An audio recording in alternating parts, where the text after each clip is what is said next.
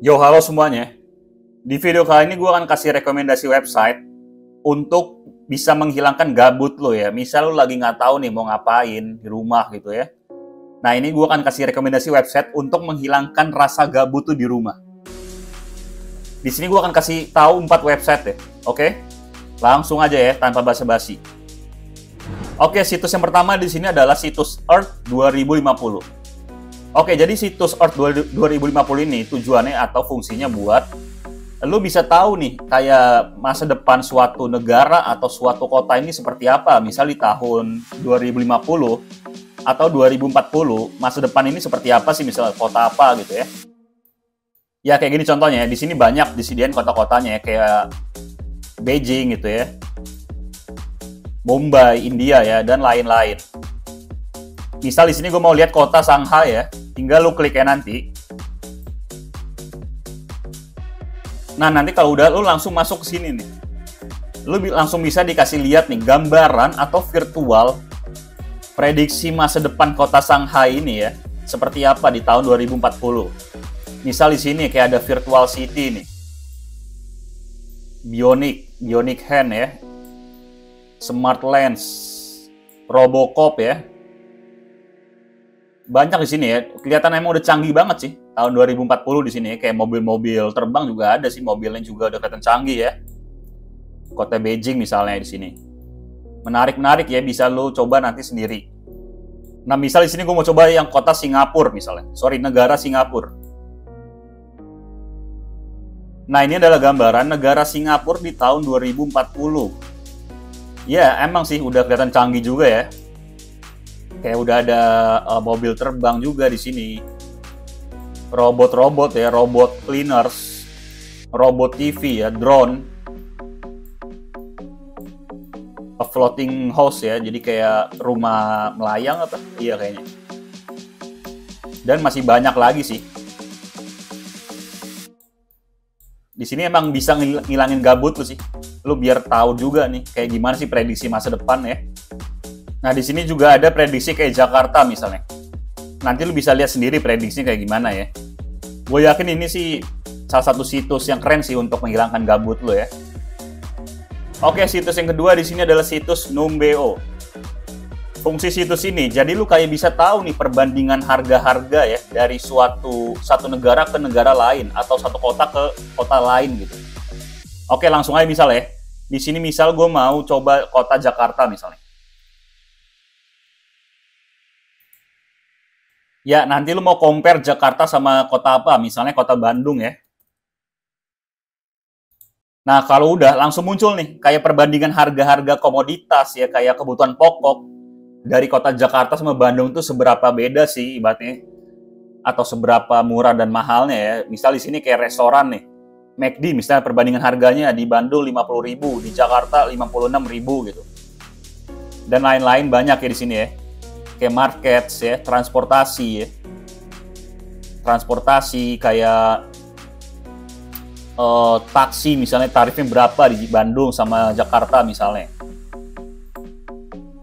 Oke, banyak di sini ya, kayak tempat fitness di Bandung ini misalnya harga 378.000. Di Jakarta 449.000 misalnya tempat fitness lebih mahal lah ya Jakarta pasti kayaknya.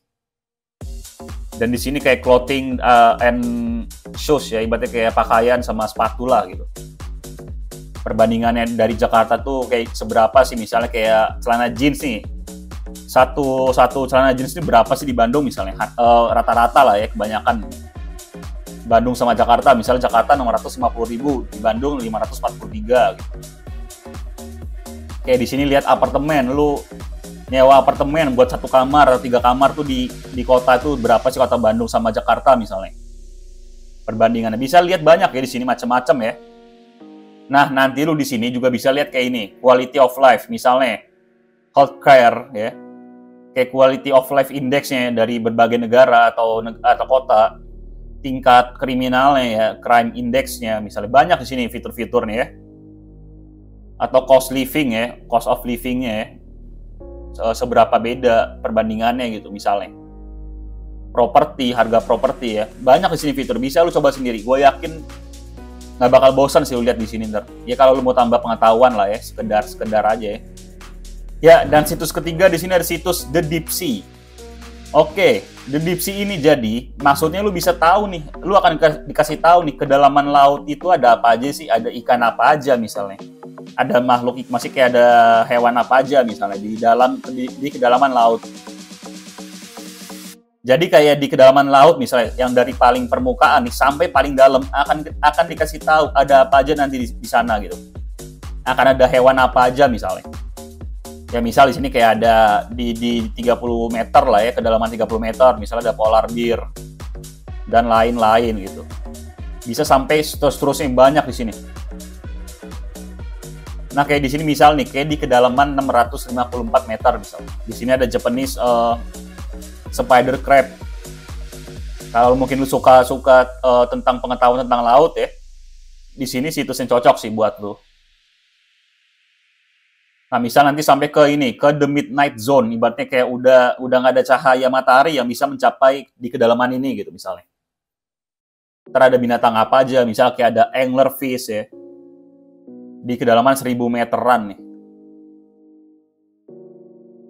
Nanti bisa coba sendiri aja ya.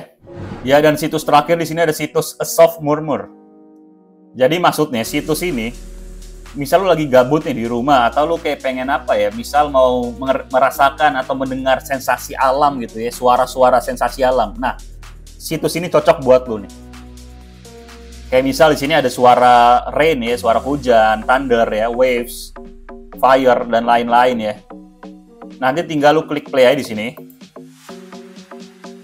tinggal lu kencengin misal di sini rain ya suara hujan lu gedein suara thunder waves ya, wind, kurangin, dan lain-lain.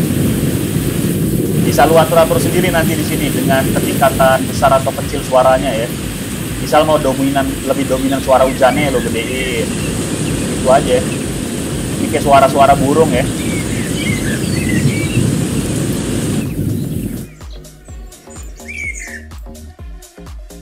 Dan yang menarik di sini juga ada suara ini kayak kafe ya nanti coba lu play.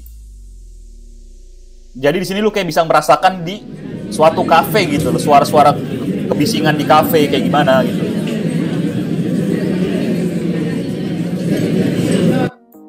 Ya ini cocok sih buat lo yang lagi mungkin kayak pengen relax ya atau ya sedikit relax ini kayak sih mau mendengari suara sensasi alam di sini cocok. A soft murmur ya situsnya. Oke. Jadi ini ya, empat situs untuk menghilangkan kegabutan lu. Nanti gua saranin coba aja sih. Ya mungkin mudah-mudahan juga berguna sih untuk menghilangkan kegabutan lu ya. Oke, jadi sampai sini dulu ya videonya ya. Terima kasih.